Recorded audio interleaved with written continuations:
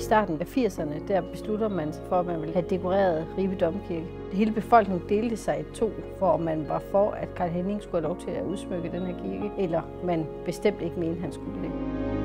De mente jo simpelthen, at, at, det, blev, at det ødelagde domkirken.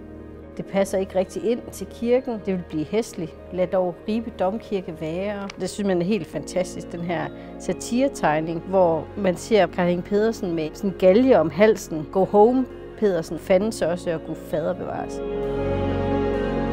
Så sige, at der gik ikke ret lang tid efter det var færdigt. Så begyndte ripenserne pludselig at, at holde af det. Nu tror jeg, man er virkelig stolt af, af vores domkirke. Det tror jeg bestemt.